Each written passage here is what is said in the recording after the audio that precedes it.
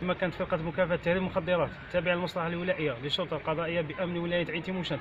من حجز كمية معتبرة من المشروبات الكحوليه مع توقيف شخصين عملية جاءت نتيجة استغلال المعلومات وجود نشاط مشبوه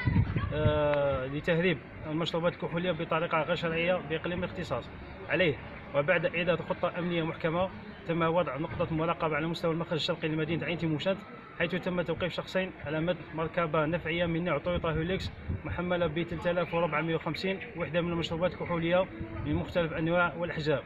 تضم بضاعة أجنبية كانت مموهة بشحنة من مادة البصل متجهة إلى ولاية تلمسان